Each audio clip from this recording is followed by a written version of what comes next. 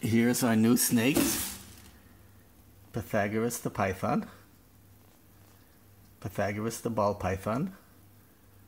With his first meal in the Bloom house.